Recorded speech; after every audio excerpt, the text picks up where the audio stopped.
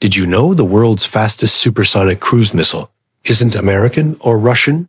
It's Indian? Meet the BrahMos, a Mach 3 monster that changed the face of modern warfare. Developed jointly by India's DRDO and Russia's NPO Mashinostroyeniya, BrahMos can strike targets over 450 kilometers away and do it in minutes.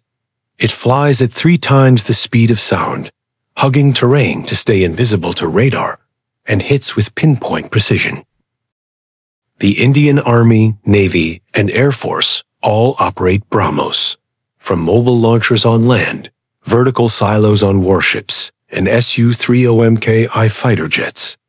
The upcoming BrahMos NG and BrahMos 2 hypersonic missile will push speeds beyond Mach 7. India's not just keeping up, it's leading the missile revolution.